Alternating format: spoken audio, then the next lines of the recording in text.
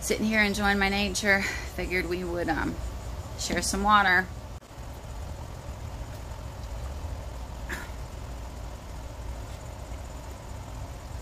Okay. Not everything about this six month commitment is going to be easy. But the one thing I do know, which is the weirdest thing to me, actually, um, is when I do get to the point to where I'm drinking water like I should be doing, um, it gets to where that's all I will drink. I and it's the only thing that will make me not be thirsty. So I know at least that I can't get my arm comfortable. Um, once I'm used to drinking water, it'll be easier. I guess that's what I'm trying. Okay, just say it.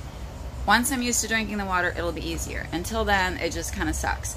Um, but I only drink distilled water. I don't drink tap water. I have heard and been told that I need to not drink just distilled because, you know, I need the chemicals, minerals, whatever. Um, I don't like the taste, for one. For two, um, I'm trying to avoid fluoride and all the good things that go in the water, and I would rather just have water. Um, so, yeah. Anyway, distilled water, no taste, cannot handle anything else. So, if you can't stand water, if you haven't tried distilled, I would write, I would highly recommend it. Um, you may prefer it really, really cold. You may prefer it, you know, room temperature. But if you haven't tried it, it it's, yeah. Anyway, so I'm sure I'll see you soon.